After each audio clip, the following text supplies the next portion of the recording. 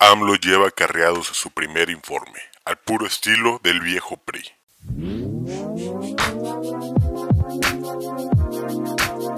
Hola, ¿qué tal amigos? Acarreados asistieron al evento de AMLO con jugo, sándwich y fruta.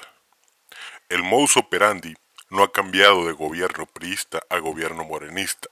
Son lo mismo prácticamente y se ha repetido durante la mañana del pasado primero de julio. Delegaciones del partido invitaron a vecinos al Zócalo de la Ciudad de México para que la plaza luzca llena en el evento que el presidente López ofreció con motivo del aniversario de su triunfo electoral.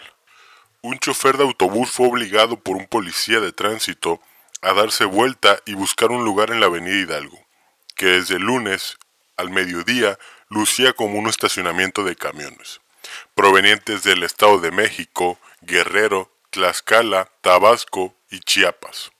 Del camión por fin estacionado bajó un grupo de mexiquenses con bandera de vino color morena, bolsas con torta, y fruta y jugo boing, en vez de los frutsis que solían repartir en los eventos de Enrique Peña Nieto servidores de la nación, entre paréntesis paleros, y encargados de levantar el censo del bienestar, movilizaron también a los invitados. Sabemos que vamos al Zócalo y nada más, a un evento de Andrés Manuel, dijo Luisa, una joven de 20 años que camina en peregrinación de Avenida Hidalgo hacia la plancha.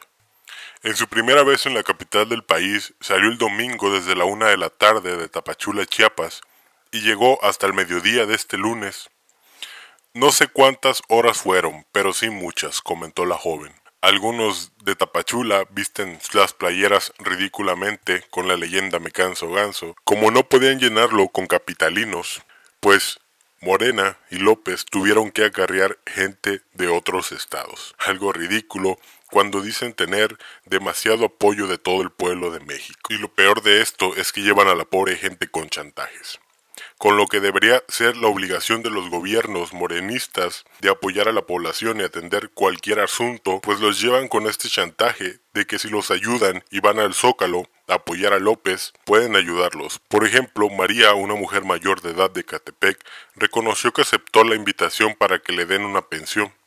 Por eso andamos aquí, apoyándolo, aseguró.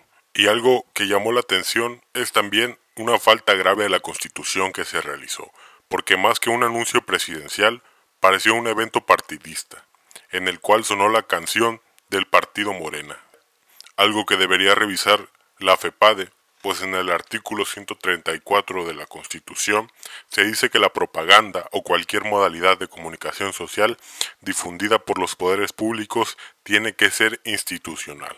Y López en el evento se jactó de que ya no son el mismo gobierno de antes y que todo cambió. Bueno, lo que sí cambió es que ahora reciben Boeing en lugar del tradicional Fruitsy. Muchas gracias por ver el video, suscríbanse, compártanlo y activen la campanita de notificaciones para recibir más videos con contenido como este. Saludos a los seguidores Rottweiler, gracias, yo soy Weiler.